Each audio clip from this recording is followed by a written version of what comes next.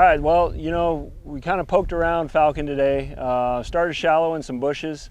It's my favorite way to catch them. There's one. God. Uh.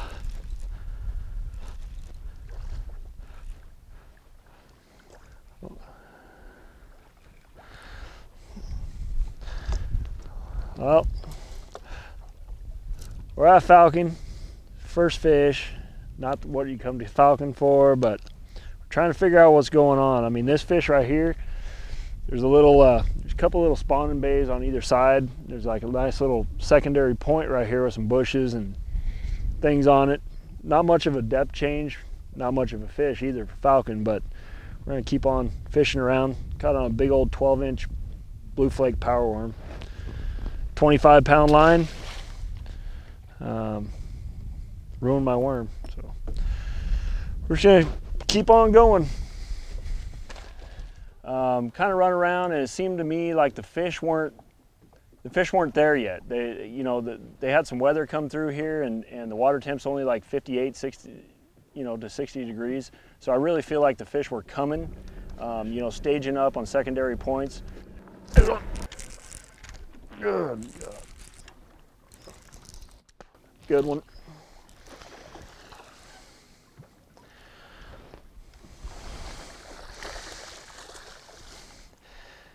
Finally, a Lake Falcon fish. 12 inch power worm. Got him. It's a decent fish, but uh, what the deal is here is we've been, it's a nice fish.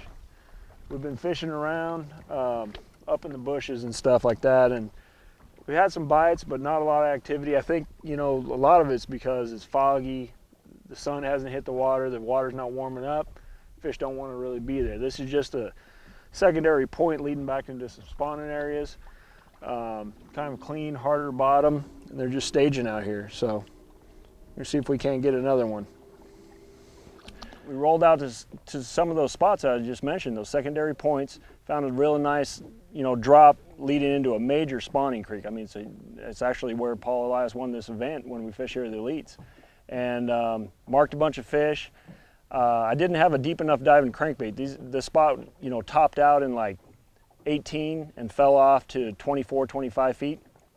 Uh, threw the threw the A-rig a little bit.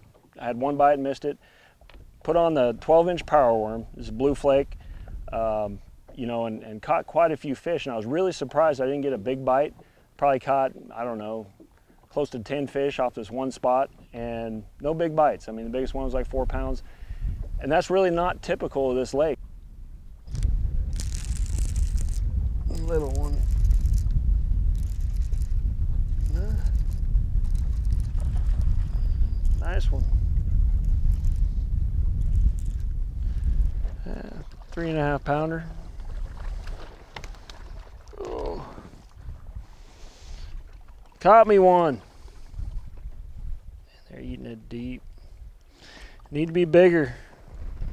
Like falcon, you can see how white they are. That's when they're moving in from the main lake. They haven't really got up in the bushes yet.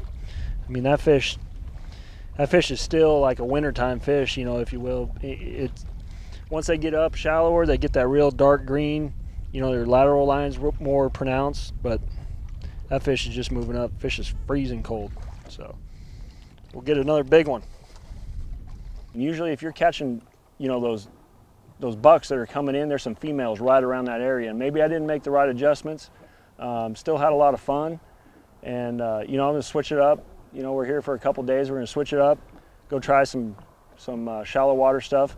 But my gear that I was using, you know, with this 12 inch power worm, this here is a 804 Powell Max casting rod, which is discontinued, and I convinced Keith Bryan, the owner of Powell Rods, to come, come out with it in the endurance line. I have one, the thing is awesome. I was afraid of ruining it down here, so I, it's in my rod locker all night, nice and safe, but those are gonna be available really quick.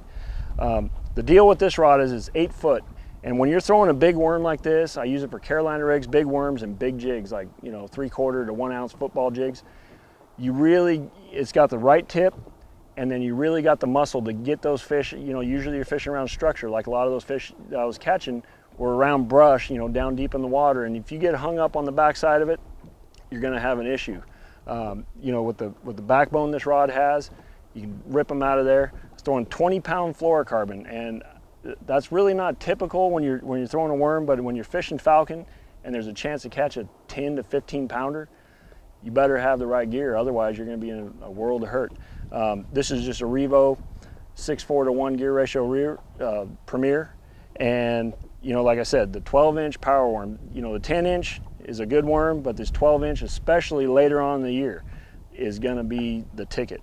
Um, Eco Pro tungsten weight and a 5 aught Gamakatsu hook, and just making long cast. Kind of, I was just shaking that worm and they bite it. But anyway, we're going to go come up with a different game plan tomorrow, see if we can't catch some big ones. They're catching a lot of fish. There, there's one. Good one. That is a good one.